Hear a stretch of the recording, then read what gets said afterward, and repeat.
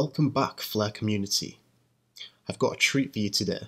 We're going to be discussing a key part of the Flare network ecosystem, the FTSO, and more importantly, how you can use the FTSO to gain passive income on the Flare network. What is the FTSO? The FTSO, or Flare Time Series Oracle, provides externally sourced data estimates to the Flare network in a decentralized manner. It does so by leveraging the distributed nature of the network and its participants. As we know, various digital assets, such as XRP and more recently Litecoin, can be converted into their F asset equivalent on the Flare network, effectively transforming them from a Turing incomplete asset to one with smart contract capabilities. For F assets to be minted on the Flare network, Spark has to be provided as collateral. For example, to convert one XRP into FXRP, you may need to stake 2.5 times the value of the XRP worth of Spark. So where do you get the data input for this conversion and to calculate the ratio? This is a job for the Flare Time Series Oracle, which provides externally sourced data estimates to the Flare network in a decentralized manner. For example, the FXRP system requires the Spark to XRP price to calculate the Spark collateral. Centralized system would, for instance, take the price from an exchange, updating the price at regular time intervals. But a decentralized system relying on a centralized data feed would essentially render it centralized itself FTSO provides a decentralized solution to this problem, and it is essentially a heartbeat of numerical data flooding the network with accurate, reliable data. A time series is how we refer to a specific data feed, for example the spot price of XRP, that has already been processed by the FTSO. This data point is now available to use by smart contracts running on the Flare network. The FTSO will be responsible for providing accurate time series for multiple datasets at regular time intervals to be used within the Flare network. Where does the data input for the Flare time series oracle come from? In the example of the Spark to FXRP Flare time series oracle, the price is updated by taking price estimates from both holders of Spark and holders of FXRP. By virtue of holding either Spark or FXRP, both of these groups have an implicit stake in the system, i.e., an incentive to act honestly, as accurate pricing maintains the system integrity and utility. To summarise the role of the FTSO, at regular time intervals, token holders submit their estimates to the FTSO, from which the token price is computed in a decentralized fashion, ready to be used on the network. How do price estimates get submitted to the Flare Time Series Oracle? Each address can submit their own vote, which results in a weighted distribution over prices at a given time, where the weight is related to the amount of tokens held by a given address. Let's take a look at an example to help visualize the process. Let's say we have four users that wish to participate in a round of voting for a particular asset pairing.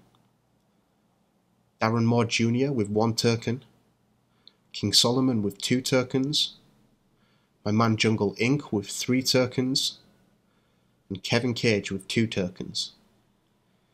Each of them submit the following prices. Darren, a 3, Solomon a 4, Jungle a 5, and Kevin Cage a 6.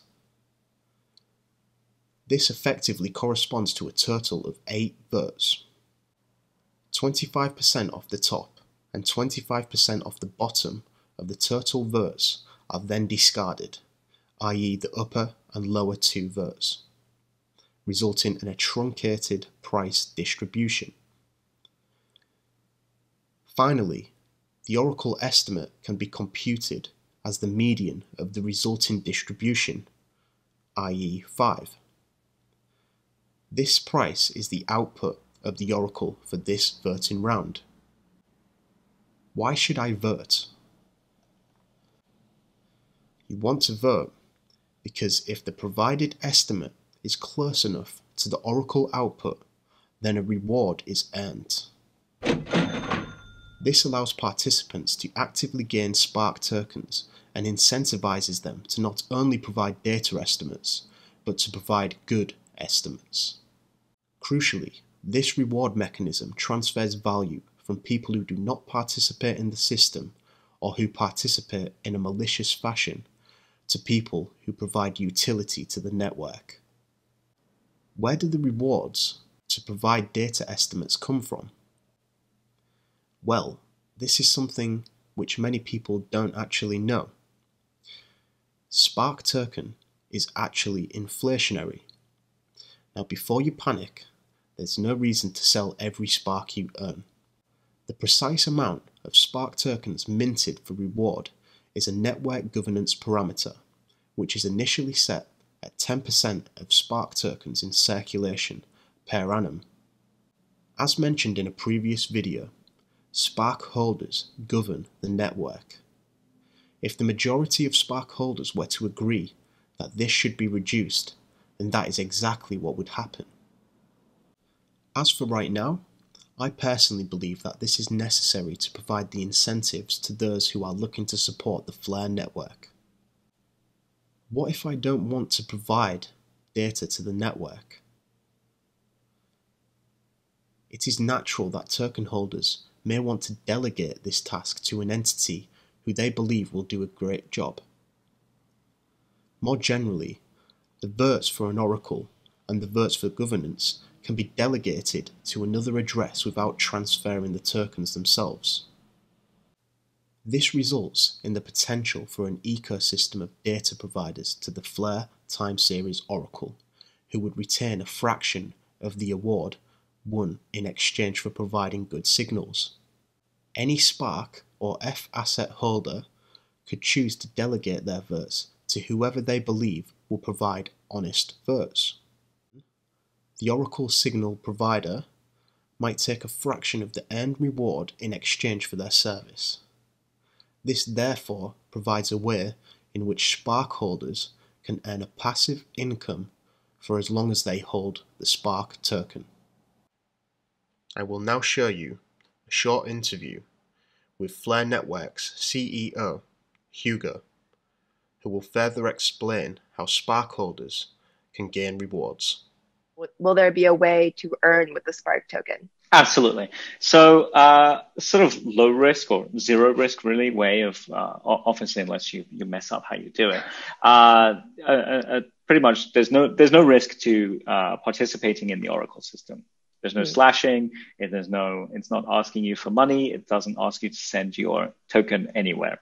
So we hope that many wallets and many exchanges will. Um, uh, essentially integrate with the uh, Oracle system to allow people to uh, essentially delegate the votes that are attached to their tokens mm. to whichever Oracle providers or whichever data providers they wish to uh, delegate to.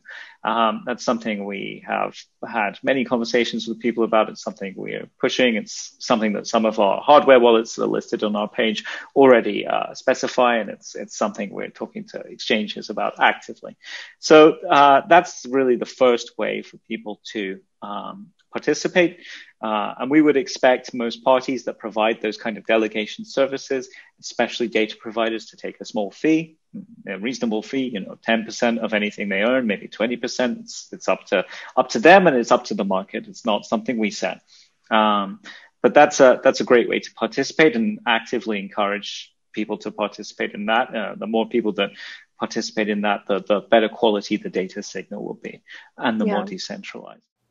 I hope this particular video was helpful in understanding a key component of the Flare network, the Flare Time Series Oracle, FTSO. Have a great day, everyone. Thanks for watching. I'm out.